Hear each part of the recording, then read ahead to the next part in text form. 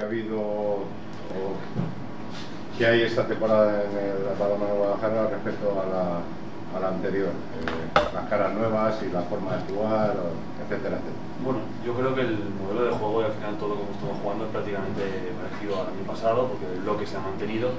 Sí que es verdad que hemos tenido incorporaciones de, gran nivel, son todos los que, los que vienen de gran nivel, pero no hay nada que haya cambiado exactamente, sino que todo el mundo que ha venido ha aportado un poquito más, tanto a nivel de intensidad como a nivel tanto defensivo, ofensivo, tenemos diferentes opciones que el año pasado no teníamos y bueno, al final pues, se nota en una categoría con Asobal.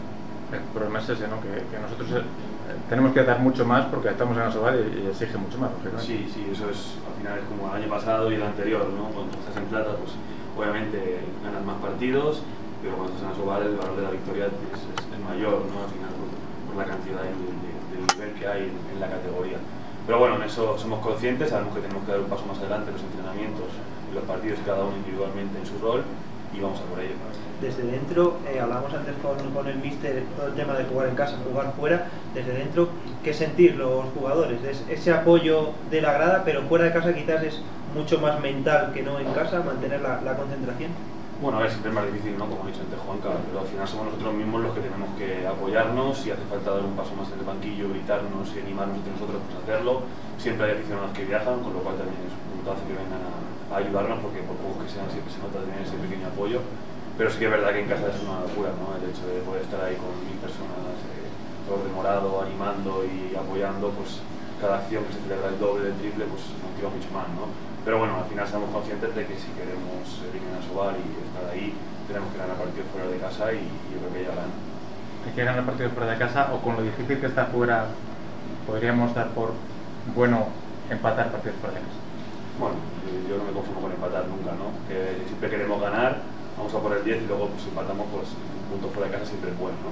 Pero al final tienes que ir a buscar la victoria para, para lograr el empate a nivel personal cómo te encuentras? Ha sido un verano un poco complicado. ¿Cómo, cómo va Miguel Llorenza? ¿Qué porcentaje de tu nivel crees que te encuentras a día de hoy? La verdad es que ha sido un mes de agosto diferente y complicado. No tenido mucha suerte en la pretemporada. Pero bueno, ahora ya, ya llevo dos o tres semanas entrenando y bien, ¿no? Poco a poco, eh, recuperando el ritmo. Al final es complicado porque tus compañeros sí que han hecho la pretemporada y tú no.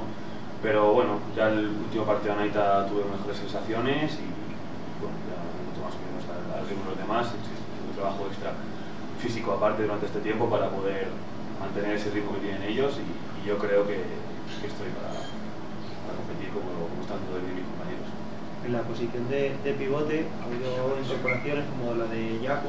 Eh, no sé si, si ahí habéis intentado también vosotros por el hecho de joven, nuevo, extranjero también, ¿no? igual con alguna dificultad para el idioma, intentar eh, apoyarle más, intentar eh, bueno, prepararle ¿no? para todo lo que es la, la soba.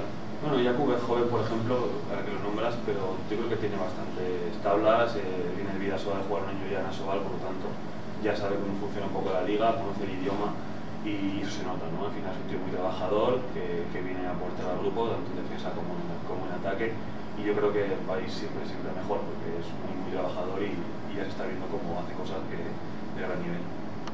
¿El potencial de la liga coincides con, con Juan Carlos? Sí, sí. Eh, yo creo que este año va a estar todo muy, muy, muy ajustado. Cada punto va a ser súper importante y va a ser una lucha continua, lo cual también es muy bonito y muy atractivo para, para el espectador y que, que, va a hacer que estemos todos ahí pendientes y luchando y sufriendo hasta el final. También consiste en eso, ¿no? El deporte, lo, lo bonito del deporte. Ya hablaba un poco Juan Carlos de, de rival, pero tú, ¿cuál crees que puede ser la, la clave de este fin de semana en, en la? Bueno, pues este fin de semana yo creo, como ha dicho él, eh, mantener el nivel defensivo con esos contactos y esa solidez defensiva que nos ha caracterizado y que la portería también nos ayude, que yo creo que estoy seguro que lo hará si, si seguimos manteniendo el nivel defensivo, poder correr y poder atacar con, con cabeza, eh, aprovechando sus, puntos débiles y nada, nada meter más goles que el rival.